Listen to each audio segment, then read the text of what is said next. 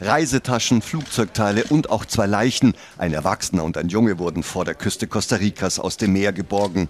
Bestätigt ist jetzt, dass Rainer Schaller, Gründer der Fitnessstudio-Kette McFit, an Bord der Maschine war.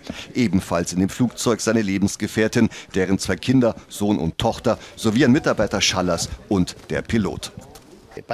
Es scheint so, dass das Flugzeug direkt ins Meer gestürzt ist. Nach Aussagen von Experten ist ein solcher Aufschlag wie ein Aufprall auf Beton.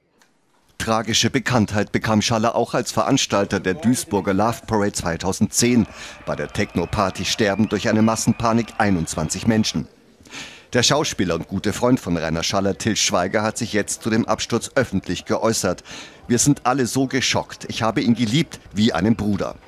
Am Samstag ist das Flugzeug von Rainer Schaller vom südmexikanischen Bundesstaat Chiapas losgeflogen. Die Maschine war auf dem Weg in die kostarikanische Provinz Limón.